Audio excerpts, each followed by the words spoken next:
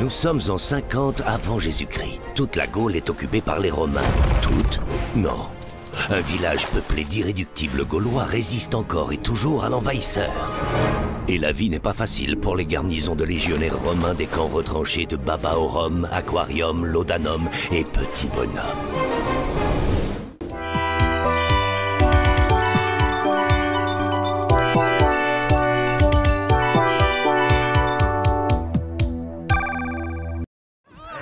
Salut tout le monde, c'est Mactorius. On se retrouve aujourd'hui pour un vidéo test sur Astérix et Obélix Baffez les tous.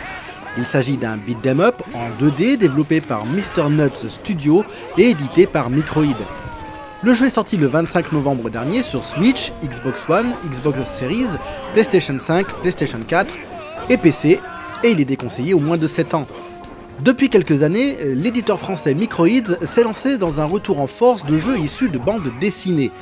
Si Astérix et Obélix avaient déjà signé leur retour avec un nouvel opus inédit de la saga XXL, somme toute réussi, nos deux Gaulois reviennent aujourd'hui avec un beat'em up en 2D qui nous rappelle fortement le jeu d'arcade qui a été un véritable succès dans les années 90. Alors le jeu est-il le digne héritier boosté à la potion magique Ou le ciel est-il finalement tombé sur notre duo? La réponse tout de suite. Notre histoire débute dans la forêt. Alors que la vie se déroule paisiblement dans le village gaulois, l'aventure frappe rapidement à la porte de nos deux héros qui vont devoir parcourir le monde, et plus précisément la Bretagne, l'Égypte, la Corse, leur propre région armoricaine et Rome. Vous l'aurez compris, le jeu ne possède pas réellement de scénario. On retrace en réalité 5 œuvres majeures des bandes dessinées de Goscinny et Uderzo. Et si cela évite les écueils d'un scénario trop en décalage avec l'esprit de la BD, on a surtout l'impression d'une répétitivité accrue. En effet, chacun des actes se déroule sur le même schéma. Une ou deux missions basiques, puis arrivée du scénario, traversée de 5 ou 6 missions, fin de l'acte. Si la BD est effectivement plus ou moins calquée sur ce modèle, chaque tome sort avec suffisamment d'espace pour que la formule ne lasse pas. Dans le jeu, les actes s'enchaînent les uns à la suite des autres et révèlent donc la formule. D'autant que le jeu est assez court au final. Il faut compter guère plus de 6 ou 7 heures pour en faire le tour. Si l'aspect scoring de l'ensemble nous invite à refaire les niveaux en mode libre pour s'améliorer, ben il est plus qu'évident qu'au final, on va laisser tomber le jeu une fois qu'on aura fini l'aventure. En effet, si les scénarios se répètent, les niveaux eux aussi tournent rapidement en rond. La plage, la forêt, le camp romain, la galère slash le bateau pirate forment 90% des environnements que vous traverserez. Quelques niveaux sortiront un peu de l'ordinaire, mais ils restent très minoritaires malheureusement. Une redondance qui se retrouve également dans les ennemis à affronter, du simple soldat et bandit au boss du jeu. Il n'y a finalement que peu de variations, ce qui nous donne l'impression de toujours faire la même chose. Et c'est d'autant plus triste parce que graphiquement parlant, le jeu est tout simplement somptueux. Les graphismes en cel shading transposent avec le plus petit détail le style visuel d'Albert Uderzo, et on a tout simplement l'impression de jouer directement dans les cases de la BD. Les animations des personnages, jusqu'à Idéfix qui nous suit tranquillement, sont également parfaitement fluides et dignes des meilleurs films d'animation consacrés à nos amis gaulois. On mettra peut-être un bémol sur les phases de dialogue qui, tout aussi belles soient-elles, manquent cruellement de vie, de simples images fixes, sans animation, avec un arrière-plan unique, et sans doublage du tout. Car oui, nos héros sont doublés, mais uniquement dans les phases de jeu. D'ailleurs, on retrouve Jean-Claude Donda et Guillaume Bria, qui respectivement reprennent les rôles d'Astérix et Obélix, à savoir leur voix officielle depuis quelques jeux maintenant.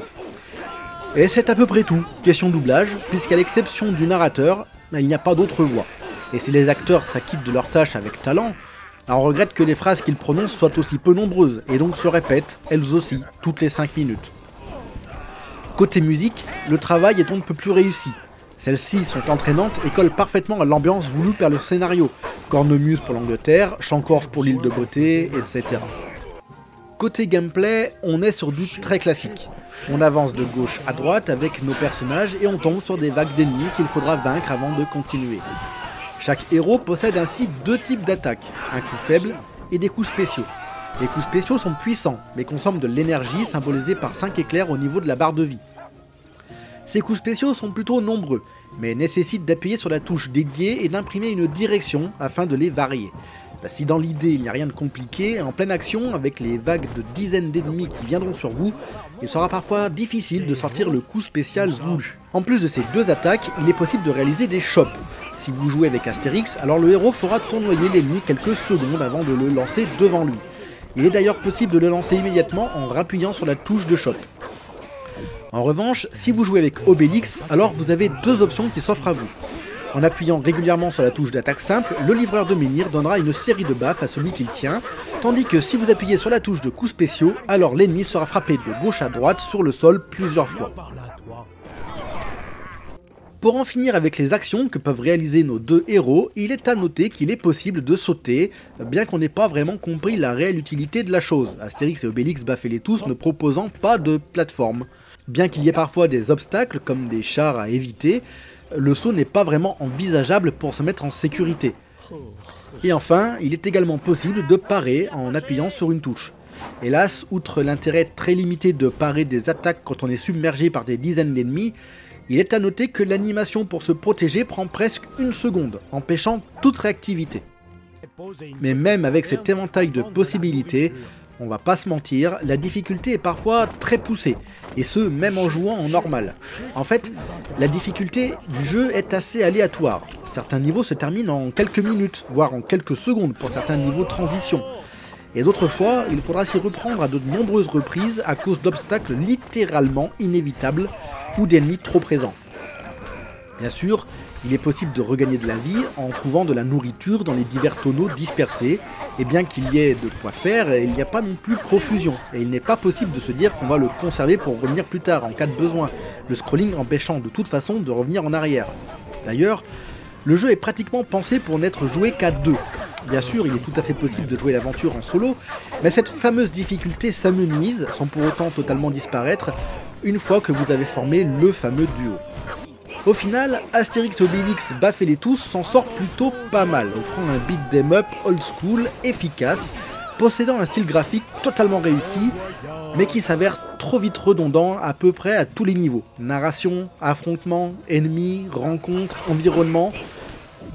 Pour autant, eh ben on s'amuse facilement, et malgré une difficulté en dents de scie, dès le moment où on joue à deux, le fun l'emporte et on se laisse prendre au jeu.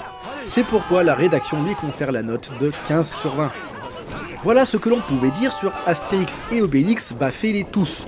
Si cette vidéo vous a plu, laissez-nous un petit pouce vers le haut et n'hésitez pas à la partager sur les réseaux sociaux.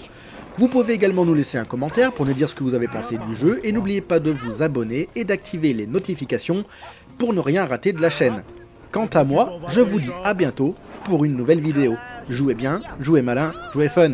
Ciao.